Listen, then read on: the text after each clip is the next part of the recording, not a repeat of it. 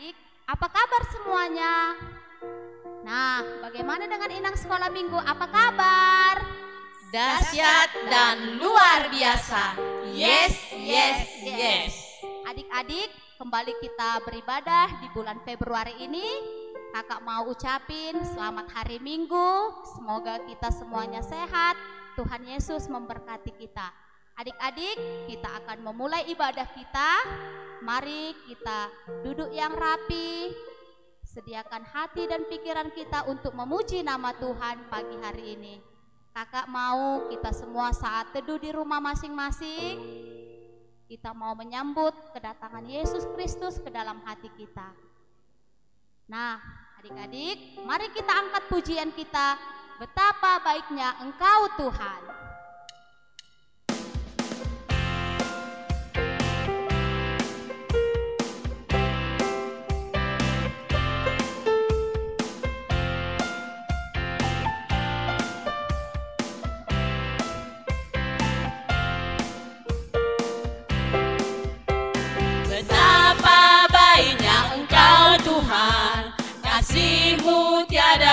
ciudad.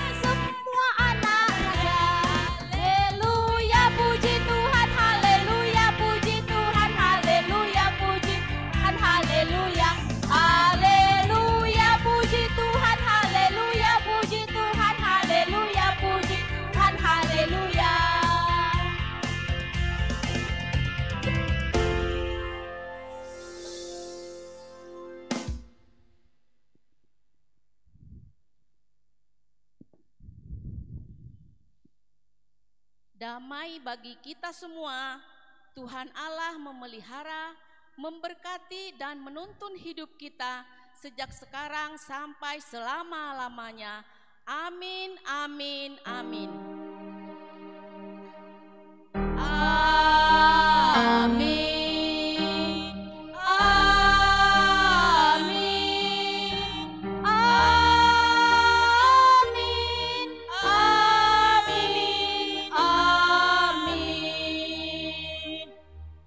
Kita berdoa.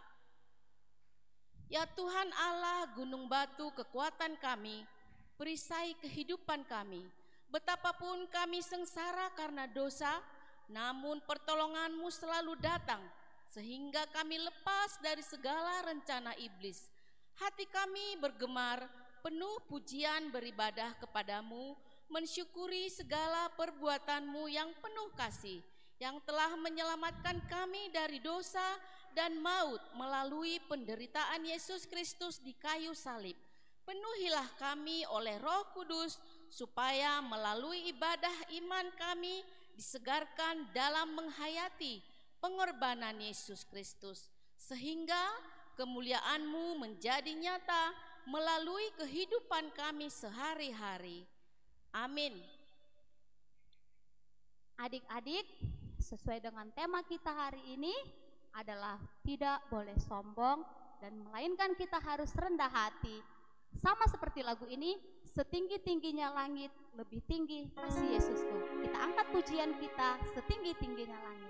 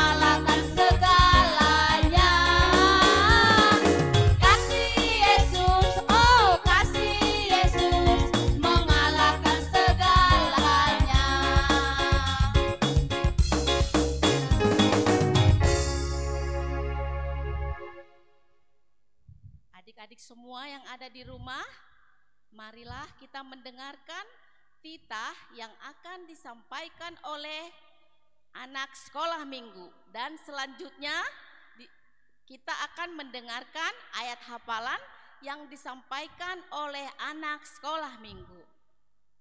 Selamat hari Minggu. Saya akan mengucapkan tita ketujuh. Jangan berzina. Dalam bahasa Simalungun ya. Ulang Homar Bakis. Shalom. Selamat hari Minggu. Riap Mahita Mangindo, Ham Tuhan nai bata, sai pargogoi ham maau, makor jahon titah muai. Amin. Shalom, selamat hari Minggu teman-teman. Hari ini ayat hafalan adalah Yohanes 12 ayat 13b. Hosiana diberkatilah engkau yang datang dalam nama Tuhan, Raja Israel. Terima kasih. Adik-adik, siapa di sini yang suka sombong? Tidak ada kan? Iya, Tuhan Yesus itu suka dengan anak yang rendah hati. Sama seperti Yesus. Ketika Yesus datang ke sebuah kota, ia tidak naik kuda atau bahkan dia tidak naik eh, kendaraan mobil atau apa, tapi Yesus naik keledai. Itulah rendah hati Yesus. Mari kita ikuti sesuai dengan lagu ini. Aku senang jadi anak Tuhan.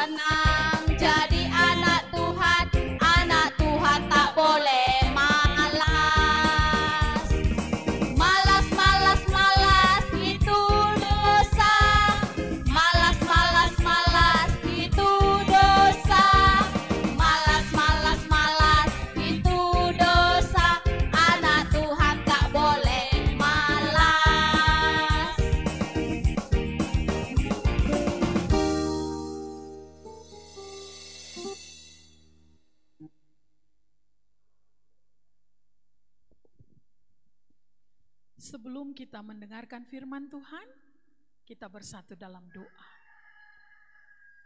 Bapa yang baik, Bapa yang kami kenal dalam nama Yesus Kristus, penebus dan juru selamat kami, pada hari ini, hari Minggu yang berbahagia ini, kami mengucap syukur atas berkat dan anugerah yang Engkau limpahkan, atas kesehatan yang Engkau berikan kepada kami, hari lepas hari, khususnya untuk anak-anak kami sekolah minggu, jemaat GKPS Jalan Jenderal Sudirman. Bapa yang baik, kami akan mendengarkan firman-Mu.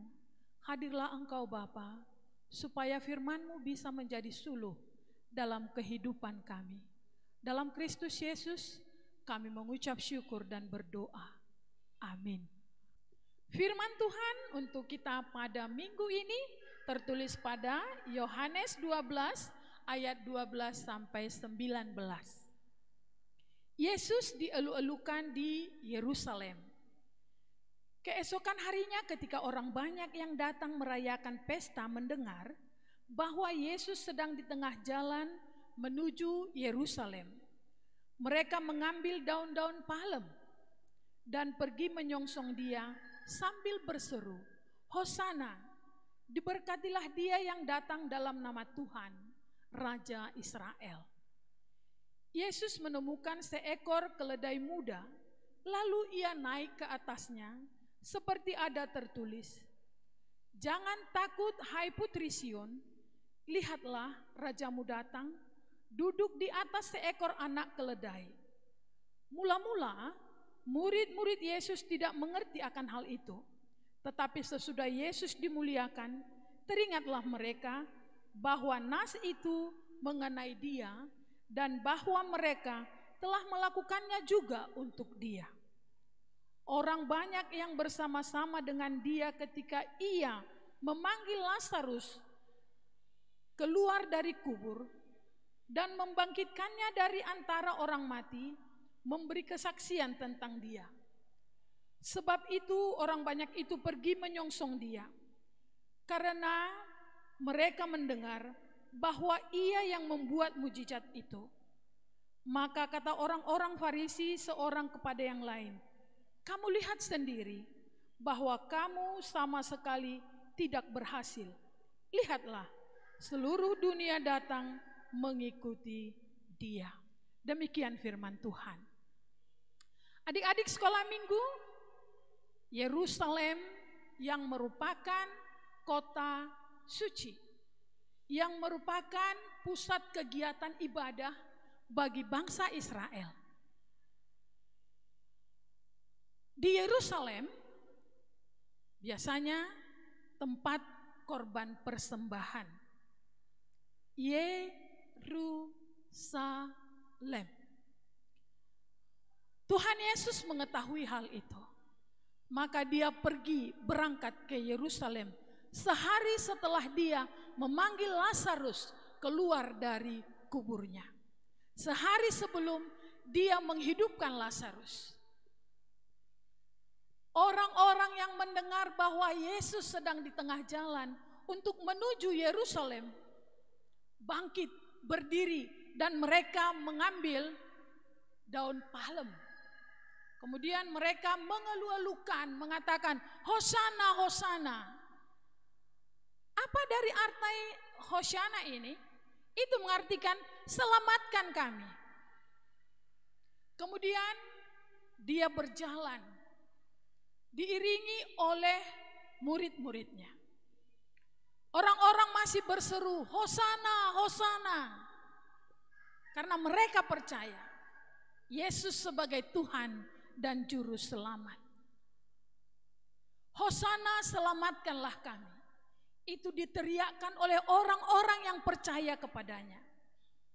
Kemudian seperti yang tertulis di Alkitab sebelumnya, bahwasanya dia akan menaiki seekor keledai.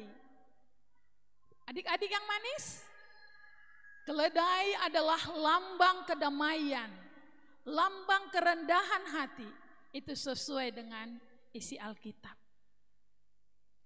Kenapa sih Yesus datang naik keledai Dia bukan tidak bisa naik kuda besar. Dia bukan tidak bisa naik kuda terbang. Tetapi Yesus mau tunjukkan kepada dunia. Yesus mau tunjukkan kepada kita bahwa dia datang sebagai pemimpin yang penuh dengan kedamaian. Bahwa dia datang sebagai pemimpin yang penuh dengan kerendahan hati. Yesus mau tunjukkan bahwa dia datang membawa damai. Adik-adik yang manis, jika Tuhan Yesus datang membawa damai, jika Tuhan Yesus berkarakter rendah hati, maka adik-adik sekolah minggu juga harus rendah hati. Ada sebuah cerita tentang kesombongan yang membawa kehancuran. Ada seorang yang bernama Halomoan dengan Tigor. Mereka sama-sama anak yang pintar. Mereka mempunyai hobi yang sama, yaitu berenang. Pada suatu hari ada pengumuman mengatakan bahwasanya akan diadakan lomba renang. Halomoan dan Tigor sama-sama berlatih hari demi hari, hari demi hari. Hingga pada suatu hari ketika Tigor melihat bahwasanya dia jauh lebih cepat dari Halomoan, dia nggak mau lagi latihan dan dengan angkuhnya dia berkata, saya tahu saya sudah akan jadi pemenang. Maka Tigor tidak pernah ikut latihan lagi. Tapi Halomoan yang mengetahui kelemahannya berlatih lebih tekun, lebih tekun, lebih tekun hari demi hari. Maka tibalah saatnya pertandingan dimulai. Adik-adik yang manis, pasti tahu kan siapa pemenangnya? Iya, Halomoan yang menjadi pemenangnya. Semua orang bersorak, semua orang memuji Halomoan. Hidup Halomoan, hidup Halomoan. Tapi Tigor yang kalah penuh dengan kesedihan dan menangis. Untuk itu adik-adik, jangan ada yang sombong, tetapi tetap harus rendah hati. Karena Yesus memberikan contoh, karena Yesus berkarakter rendah hati, maka anak-anak sekolah minggu juga harus rendah hati. Anak-anak sekolah minggu harus menjadi orang-orang yang membawa damai. Pernah dengar cerita tentang Mother Teresa di India? Iya. Dia benar-benar memiliki karakter Kristus yang rendah hati, membawa damai, dan mengasihi.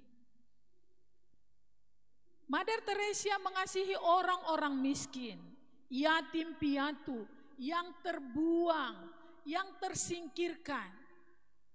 Sehingga dengan karakter Kristus yang ada pada Mother Teresa, semakin banyak orang yang percaya kepada Kristus. Begitu juga harapan Kristus pada anak-anak sekolah minggu. Anak-anak sekolah minggu juga harus bisa berkarakter Kristus. Bagaimana caranya? Tidak cengeng, tidak sombong, dan tetap rendah hati. Dan ingat, harus tetap menjaga kesehatan tentunya. Baiklah adik-adik sekolah minggu, Hoshana, selamatkanlah kami, maka kita harus tetap berpegang teguh kepada Kristus, supaya Kristus menyelamatkan kita. Adik-adik sekolah minggu, mari kita hidup rendah hati, jauhkan kesombongan, supaya Kristus semakin dipermuliakan di dunia ini, di hati kita masing-masing. Kami yakin dan percaya adik-adik sekolah minggu akan tetap rendah hati, jauh dari kesombongan, supaya nyata bahwa yang menjadi contoh teladan kita adalah Yesus Kristus yang rendah hati. Hoshana, selamatkanlah kami ya Tuhan. Amin. Kita bersatu dalam doa. Terima kasih ya Tuhan atas berkat dan anugerah yang Engkau limpahkan. Ingatkan kami untuk berhosiana. Ingatkan kami untuk berseru kepadamu. Ingatkan kami ya Tuhan, supaya kami selalu berseru agar kami bisa mengingat bahwa Engkau adalah penyelamat kami. Bapa yang baik, dalam Kristus Yesus telah Engkau tunjukkan kerendahan hati. Untuk itu Bapa, pimpin hidup kami supaya kami menjadi pembawa damai, supaya kami tetap rendah hati di dalam menjalani kehidupan kami, sehingga karakter Kristus sebagai pembawa damai akan melekat di dalam kehidupan kami sehari-hari, supaya semakin banyak orang yang terselamatkan, supaya semakin banyak orang yang memuji dan memuliakan Engkau, dan semakin banyak orang yang terselamatkan. Terima kasih ya Bapa. Dalam Kristus Yesus kami mengucap syukur dan berdoa. Amin.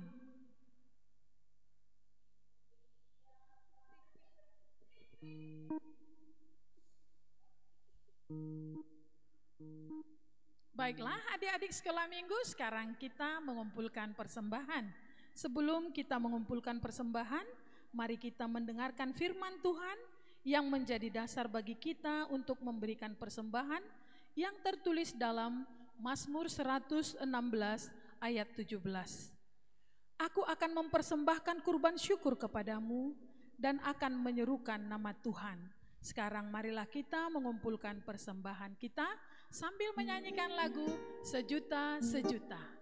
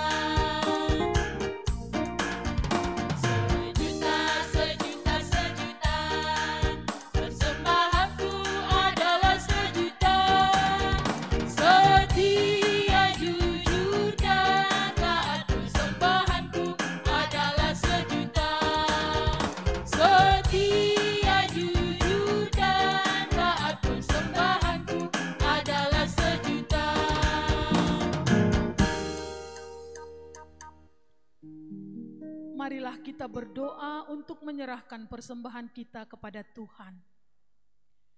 Ya Tuhan Allah, Bapa yang Maha Murah, sumber segala berkat, kami bersyukur kepadamu karena Engkau senantiasa melimpahkan berkat-Mu yang mencukupi segala kebutuhan kami. Saat ini kami mempersembahkan hidup dan harta milik kami yang berasal daripadamu Berkati dan kuduskanlah persembahan ini untuk kemuliaan namamu. Kiranya roh kudus mengajari kami supaya kami semakin melihat, menyadari, dan mensyukuri berkatmu yang berlimpah. Baik yang telah kami terima maupun yang masih akan engkau berikan kepada kami. Sehingga hati kami tulus memberikan persembahan yang benar ke hadapanmu. Terimalah persembahan dan doa ini di dalam nama anakmu, Yesus Kristus, Tuhan kami. Amin. Mari kita sama-sama berdoa, O Yesus Hasomani. O Yesus Hasomani, Hanami Haganu, Pasada Uhur Nami, Asetorangganu, Senggoi Dalanon Nami, Salakana Torsa, Dobham Hasoman Nami, Torang Agehuja. Amin. Baiklah adik-adik sekolah minggu, ibadah kita telah selesai. Sampai jumpa minggu yang akan datang dalam ibadah Sekolah Minggu GKPS Jalan Jenderal Sudirman. Shalom, salam sehat semua. Shalom. Shalom.